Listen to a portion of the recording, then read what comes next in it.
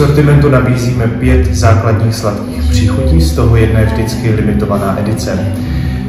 Můžeme začít kyselým citronem, ten je dost intenzivně do kysela, je tam o půlku mín cukru, tak jak ve všech ostatních krémech, které jsou postavené na másle.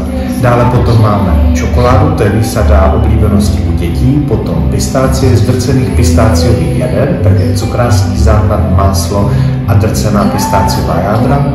Potom maslo, sametový krém, s tím se tady začínalo, to byl vlastně ten pilot, který dostal věnečky do světa.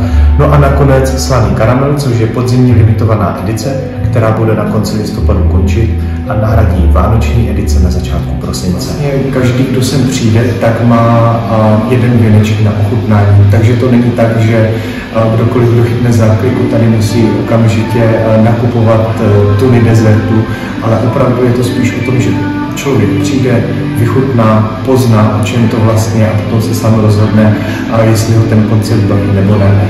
Takže opravdu začíná to tím, že první klient dostává a potom teprve si odnáší to, co tady chce nebo co ho zaujme.